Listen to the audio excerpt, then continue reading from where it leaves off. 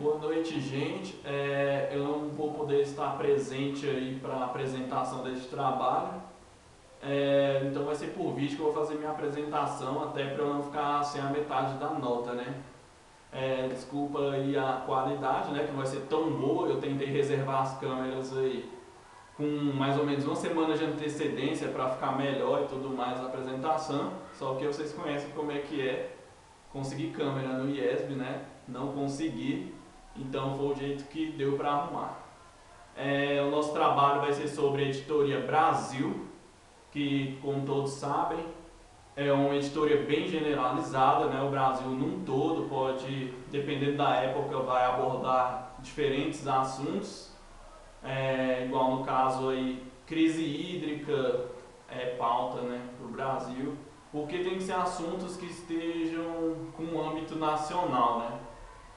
Então, crise hídrica, dengue, é, agora aí está a questão da superbactéria, né? Então, até para exemplificar, peguei aqui uma edição do Correio do dia 1 de junho agora, né? Segunda-feira, que mostra, por exemplo, das superbactérias. É o caderno Brasil do Correio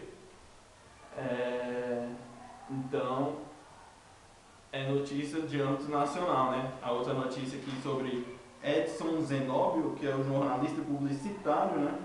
Falando sobre tudo mais, é isso aí. Atualmente a superbactéria é o assunto né, da Editoria Brasil.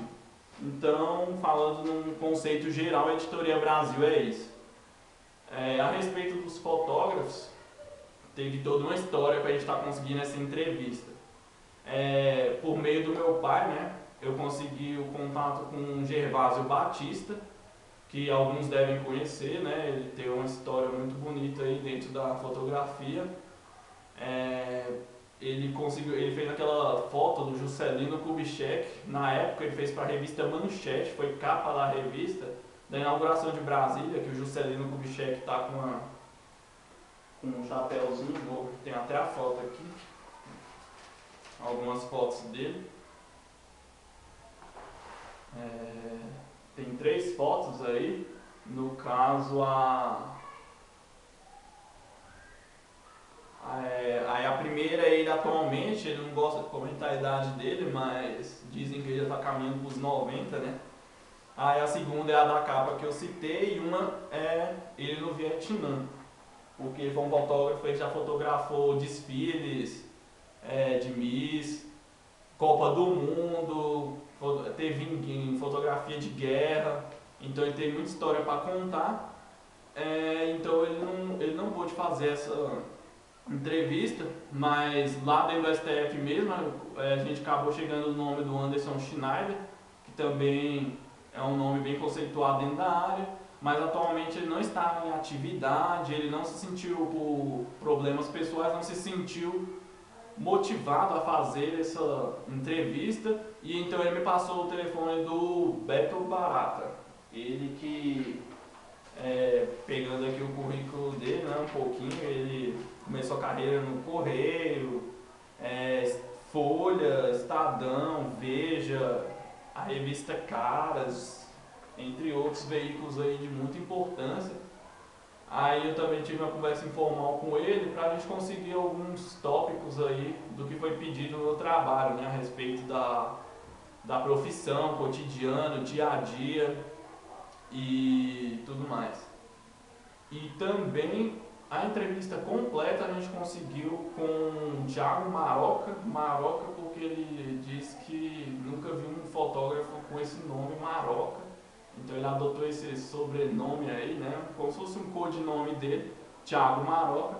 Ele que concedeu entrevista pra gente, ele é mais da área freelancer, né? Ele até comentou com a gente que é um sonho dele tá entrando na área do fotojornalismo em específico, é uma coisa, um objetivo que ele tem de vida, mas ele ainda não alcançou, ele que concedeu essa entrevista, então juntando essa entrevista, as conversas com o Gervásio, com o Anderson, com o Beto Barato, a gente vai fazer uma síntese e os meninos aí, o Otávio e o Rafael, vão estar passando para vocês aí é, alguns aspectos aí da profissão que a gente conseguiu com as entrevistas, né? É, saiu um ranking aí, né? o, site, o site não é tão conhecido, mas eles falam dos 10 fotógrafos mais influentes. É, eu gostei do ranking porque é, eles falaram 10 nomes. Em segundo aparece Sebastião Salgado, né? Porque eu acho que qualquer pessoa que não entende muita coisa de fotografia, como no meu caso, por exemplo, pelo menos já de nome já ouviu falar, quem foi Sebastião Salgado, né? Dispensa eu falar aqui os prêmios, obras que ele teve. E na sétima posição apareceu né, o Gervásio Batista, então como eu já conhecia, assim, tive um contato com ele, né? É, eu gostei muito dessa, desse ranking, aí, por estar aparecendo esses dois nomes, então eu vou falar aqui, né? É, daqui a pouco eu mostro aí para vocês. O primeiro aparece o Araquém de Alcântara, em segundo Sebastião Salgado, em terceiro Chico Albuquerque, em quarto Geraldo de Barros, em quinto Tomás Farcas, em sexto Germano Lorca, em sétimo Gervásio Batista, em oitavo J.R. Duran, nono Eduardo Salvatore em décimo Walter Firmo. Antes desse dá para aparecer aí, ó, a listinha com os 10 nomes.